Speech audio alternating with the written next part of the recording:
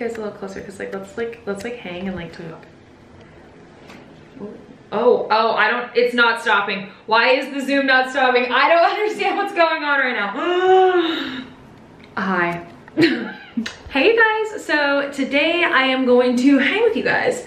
Um, I'm gonna start, we're gonna do some skincare. I have plans.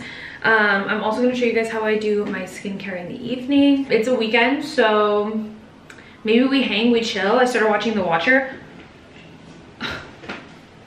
Literally, it was like watching at least the first couple of episodes, it was literally like watching myself when I have anxiety at night, um, searching my house and making Brady, my husband, search through my house, which is really funny.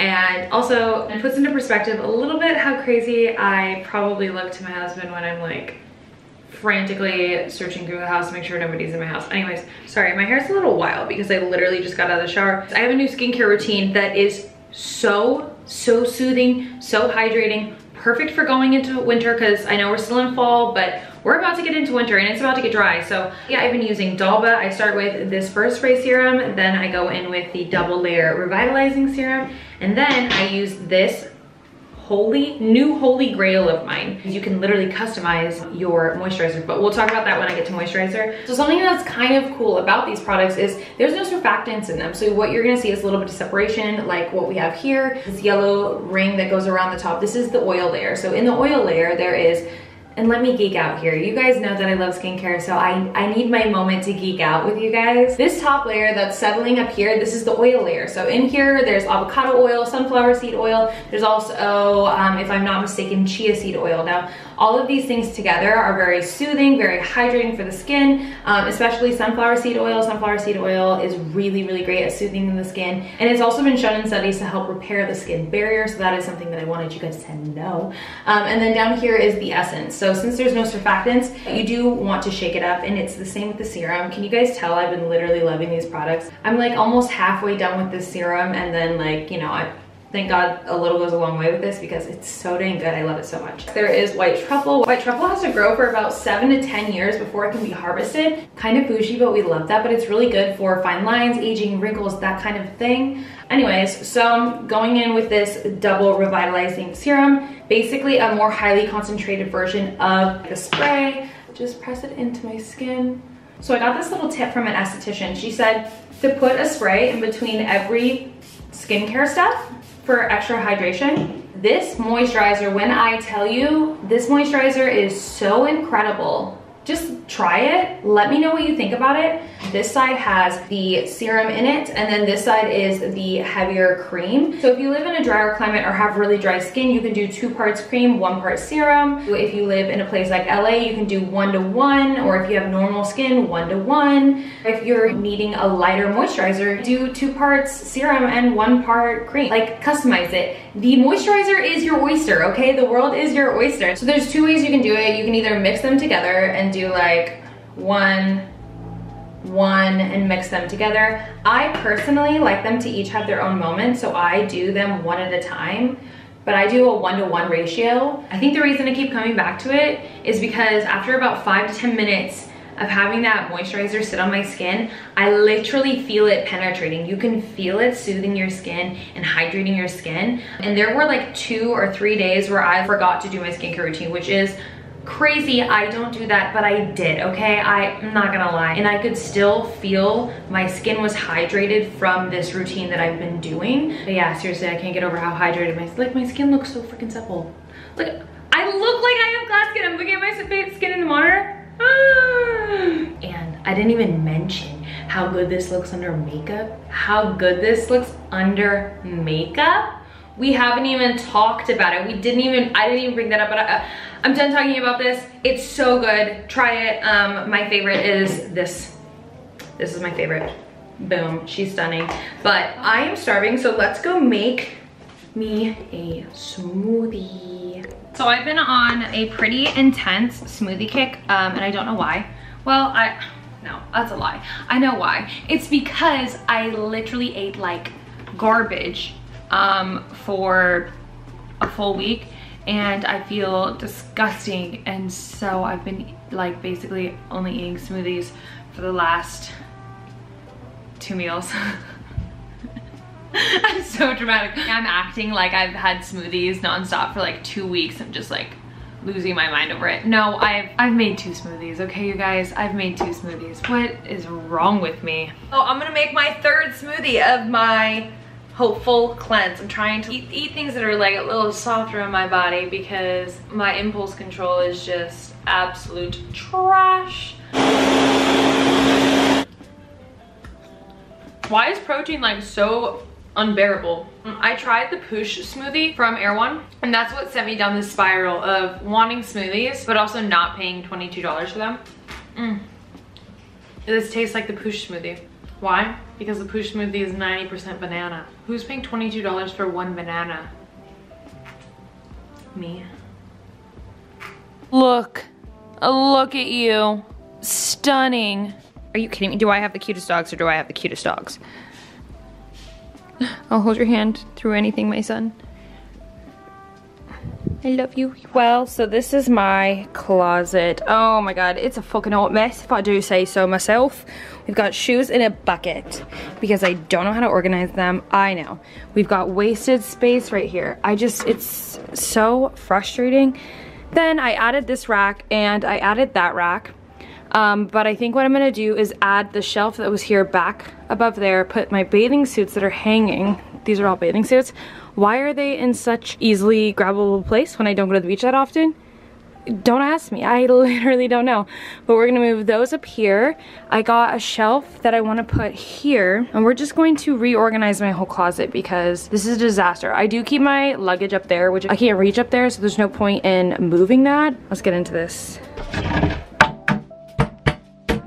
I do like to hang my bathing suits though because I feel like when I put them in like those little, what are those little like organizing boxes. I, feel, I never find them and then like I'm always running behind when I'm going to the beach. And I also got these like little thingies to hold the bottoms. I got them on Amazon. Such a good purchase. See if we can figure this out. We've got these directions. Boom. I think I think we got it. The directions say I have to undo this. I have to like align Or, yeah, I'm putting the shelves in the brackets. We're on the last bolts, look at this. Last one. Honestly, I will say this has been a very easy process and they did give me um, a screwdriver, which you never get an extra screwdriver in any kind of package. So give me a full-size screwdriver, which is honestly really nice of them. But okay, finish this. So let's go hang it up. Oh, perfect size. It's perfect. That is pretty sturdy, so that is not going anywhere. I added a little extra reinforcement here.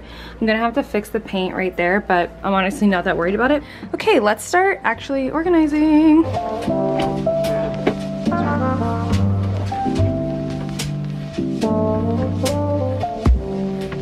Bathing suits all here, beachwear, pants, and sweaters here, party tops that I literally don't wear and or don't fit in, that kind of vibe, or just summer tops that I don't need for fall. Okay, I tried to be like very organized about this, but kind of goes by comfortability and then style. So tops that I don't really love wearing, and then it goes into tops that are like super comfy. So then I've got this Babaton bodysuit. This is literally one of my favorite pieces. Pieces, God, that's so annoying when people call their tops pieces. What I'm trying to say is this was a little bit more expensive, this bodysuit, and it's so comfortable and I love it every single time that I wear it. It's from Aritzia, annoying. I hate shopping there too. It's frustrating, but the Babaton stuff is literally my favorite at Aritzia. Makes your body look nice. It feels good. It makes you feel confident. So I really like this. I used to buy a lot of like pieces of shit tops and pants and things. And I feel like since I've started investing more in my wardrobe, I'm, I've started to understand like things that make you genuinely feel confident and really feel good in your body and things like that. More valuable in my opinion. So another one that was worth it, this is the Skims bodysuit. I actually really love it so much. Very comfy, very comfy material. I do think that the Aritzia one is higher quality. I think it'll last longer.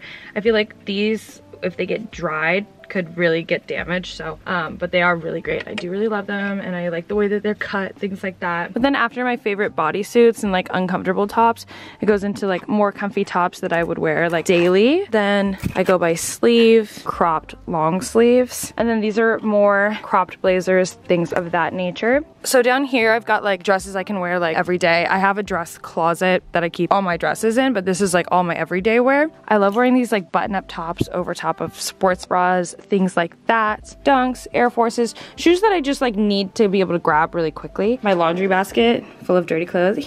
my blue denim and then colored denim pants that I honestly don't know what their category is. They're like party pants, fun pants, things of that nature. Leather pants and then pants um, over storage of this. Sweatshirts, extra crew necks, shoes, more shoes, you know, that's the vibe. I think I'm gonna do a very chill makeup. Do I do Lancome Teint Idole? This one? This one. I kind of feel like this well, neither of them look like my shade. They both look a little too cool for me, but I'm gonna do the Beautiful Skin from Charlotte Tilbury. I'm telling you guys, ooh, that actually doesn't look bad. The skincare routine that I did earlier today literally is so good under makeup. Like, painfully good. It looks so good always. Um, but anyways, we need to like talk because there's so much going on lately. Does anybody else watch the Kardashians? Because I 100% do. And if you watch the Kardashians, are you following this young sweet rose stuff? Like, what is going on? Like, is Travis cheating on our girl? I don't know. You guys might not care about that at all. And in any case, I don't really have an opinion on it. I'm just like, wow. Aside from the whole young sweet row drama, I have some drama in my house. No, I'm just kidding. It's not actual real drama. But Brady, Brady has the most random and funny TikTok for you page and it's just the greatest thing I've ever seen in my life. Like there's this one that he's become obsessed with and he sings it all over the house and it's these like 30 boys. It's like a little Jewish boy band. I wish that I knew what it was called because it's so iconic. So he comes in the house and he's singing this song and it's like Harim Shabiba. I don't know.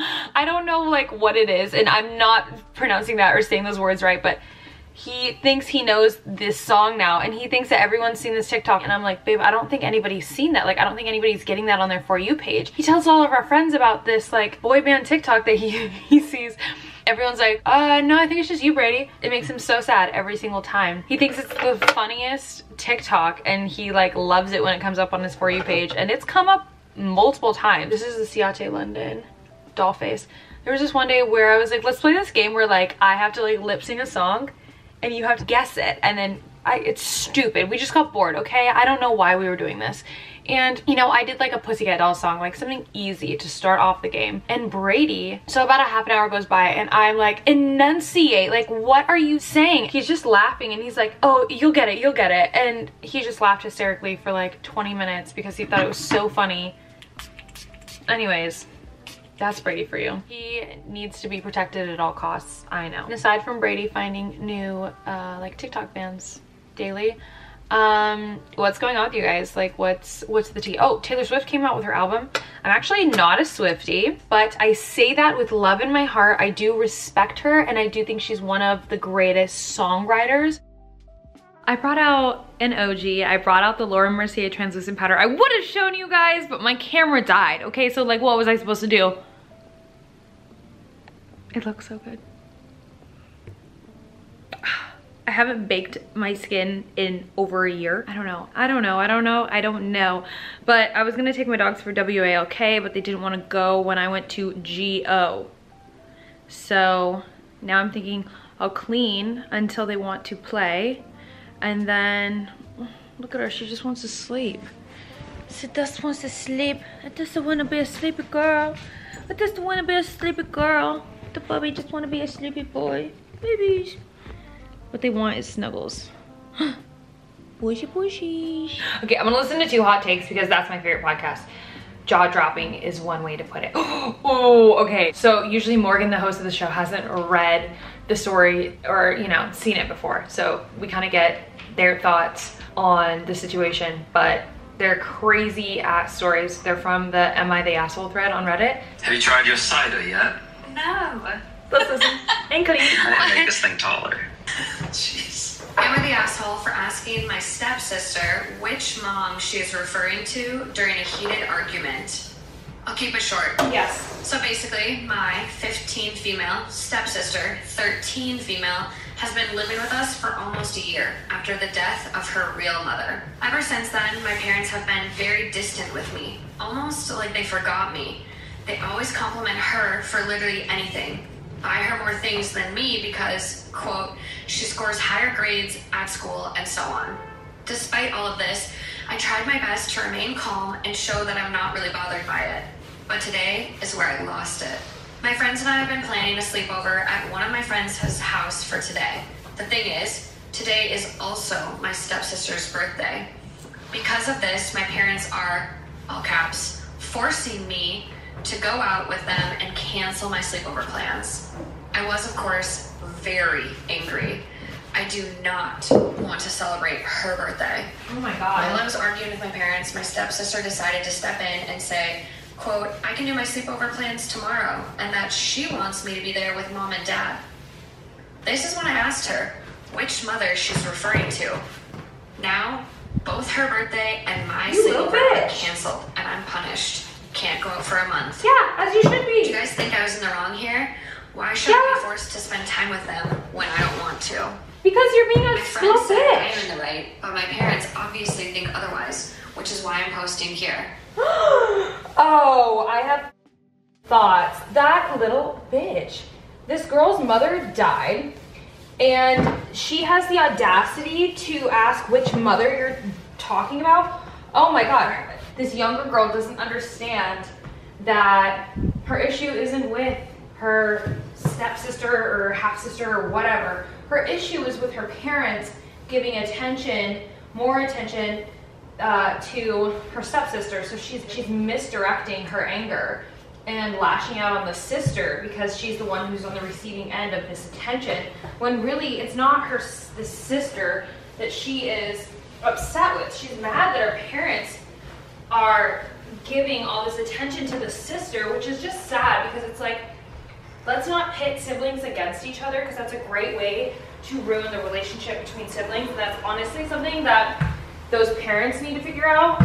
And it's honestly really unfortunate that the parents can't see that what they're doing is putting two girls between each other. You know, if the one doesn't want to go celebrate, like don't her, don't make her, but like also give the other one enough attention so that she can realize that she is loved because she probably feels like abandoned by her parents. But like, yeah, you're being a little bitch because your parents are, you know, giving the other one too much attention and basically saying you're not as good as the other sister, but it's not an excuse to be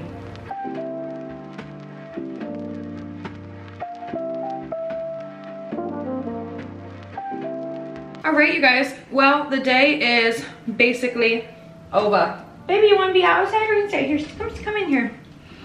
Day is over. So I'm gonna get ready for bed. I just ordered Chipotle. It just got to my house. And I'm gonna watch The Watcher. Just get my paranoia and my anxiety going, okay? And then I'm going to go to bed. But very uneventful day, but it doesn't matter. Um, okay, so skincare routine for tonight. Let me actually turn on my main light, my overhead light, so it's not so dark, because this is a little bit better. Same exact routine that I did in the morning. And I think that this is honestly like a really great place to start with your skincare routine because it's a great lifting off point. Whoa, what's going on with my hair? It's a great like lifting, it's a great getting off point. Whatever, what, lifting off, great lifting off. What is that saying? You know what I mean? I feel like you understand, what is happening here? What is that saying that the older generations are saying these days? So basically my routine is um, the same as it is in the morning, except this time I need to double cleanse. Um, and, oh, I'm using the Youth to the People Super Berry Dream Cleansing Balm. I gotta say, there are better cleansing balms than this one. I don't normally use this, but this is one of those like textured, like silicone things. And I'm just gonna use it as I rinse my skin off, just to kind of help get that makeup off. but just use it very gently because if you have sensitive skin like me, sometimes materials are just as bad. Not even just makeup wipes, you know, with alcohol in them, but sometimes like cotton balls, cotton pads, that kind of thing can be like too harsh on skin that's sensitive. So just be aware, you know? For my cleanser, I'm gonna use the niacinamide um, cleansing jelly 3% uh, from Naturium. For cleansers, I usually just stick with something that's calming, but this one, you know, with the niacinamide in it, and this one doesn't honestly have too much in it. Um, this is mostly niacinamide and other cleansing uh, agents in it, so not a whole lot of alcohols or anything really going on in that cleanser. But it's a good, nice, simple cleanser. Not gonna, you know, do too much to your skin, especially if you're using um, a skincare line like what I'm using, just like something very calming, very gentle, just really hydrating. In your 20s, like honestly, focus on hydration. Um, but also, one thing I really, really, really, really want people to understand with a skincare routine, with skin concerns that they're going through, you will never know what your actual skin concerns are unless you have a good baseline routine um, and unless you can see your skin calm, you have to have like a very simple skincare routine for a while. If you're going through acne, if you're having any kind of irritation, take all the actives out and do a very simple skincare line like this morning and night. It doesn't have to be this exact line, but you should be doing something that's very, very simple because you need to understand your baseline. And then once you understand your baseline a little bit better, then you can start adding actives. And so if you were going to add an active into your skincare routine, you could add like a retinol. And so if I was going to add an, a retinol into this routine, I would have cleansed just now. Um, you can do the spray, first spray serum, you know, second, or you could use a retinol at this point. You could use um, a vitamin C, a different kind of antioxidant. You can use some type of treatment serum. And if you don't know if your product's a treatment serum, um, if it says something like a firming serum, use the firming serum after your cleanser. Any kind of active treatment product would go after your cleanser. And then do your spray in between each step, do your hydrating serum, I'm obviously using this one that you guys saw earlier. But I do think, you know, before you start adding those actives in, it's just very important to have a routine that's simple straightforward so that your skin can do its job. Um, and a skincare routine like what I do right now enables my skin to do its job because it's hydrating my skin, so it's repairing my skin's barrier.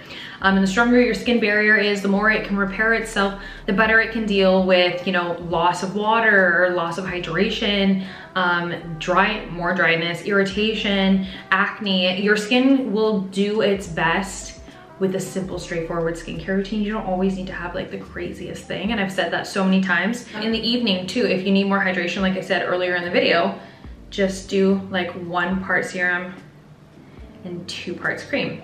I'm gonna do a little bit less cream, but that's what I do in the evening. I add a little bit more cream to the mix. This moisturizer is honestly, like I, I really like, the way that you can feel this moisturizer start to work after literally five ten minutes, like it sits on your skin, it's face, whatever. And then, whoa, there's a hair on my face. And then after about five ten minutes, you really feel it start to penetrate and it's just like, wow. There are a lot of brands I would, not even brands I would steer clear from, but like there are a lot of products I would steer clear from if you're going through an irritated phase. But yeah, if you wanna understand your skin a little bit better, I just recommend getting a very simple, straightforward routine that hydrates your skin so that it can calm down from the irritation, from the dryness, from the acne, and so that you can truly understand what your skin needs. Because when it's hydrated, that's when you're gonna find out what your skin actually needs, you know? I'll link this stuff down below. Um, I got mine on Amazon, but you can go on their site, you can go on Amazon, get it from wherever you want. But I'm gonna go now, very eventful day, hanging out with you guys. But I'm gonna go eat some Chipotle and watch The Watcher because it is so damn entertaining. And I'm probably gonna have nightmares tonight. So um, love you guys. I will see you guys in the next video.